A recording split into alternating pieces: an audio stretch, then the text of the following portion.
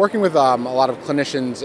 uh, and trying to get them to utilize all of the uh, resources that the Spectralis platform has to offer. Uh, a lot of the questions that I get are, well, will I have enough time to go through all this data that we're collecting? Um, isn't it better just to have a global summary metric uh, that I can rely upon patient after patient? And I tell them, you know, in a majority of patients that may be fine, but one of the things that we always have to remember is that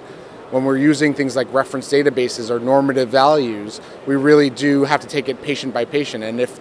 the results of the exam don't make sense with the structural findings that we find on OCT, then we really need to go back and take a look at what is being captured and whether there's uh, failures in terms of segmentation or whether there's um, normative values that don't apply to the patient that we're examining, that we really do need to take an in-depth look and try to piece that puzzle together piece by piece.